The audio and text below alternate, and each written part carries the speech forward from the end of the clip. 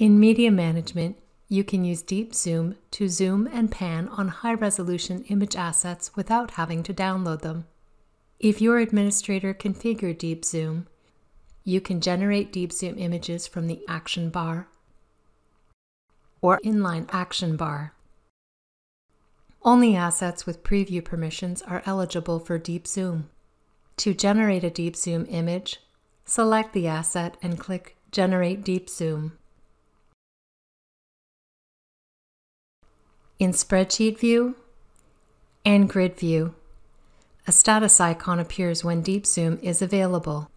To view a Deep Zoom image, double-click the asset to open its detail view.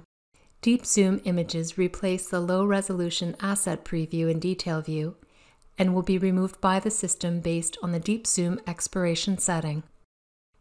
You can enter a magnification level and zoom and pan around the image.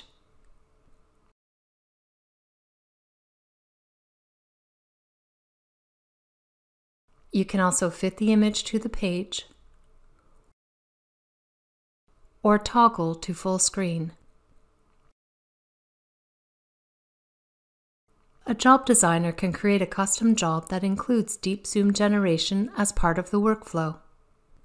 If you need to review assets for the job, you can take advantage of deep zoom on the review screen.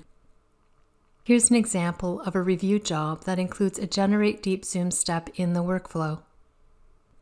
And that's how you generate a deep zoom image. Check out the other videos in this series for more media management tips.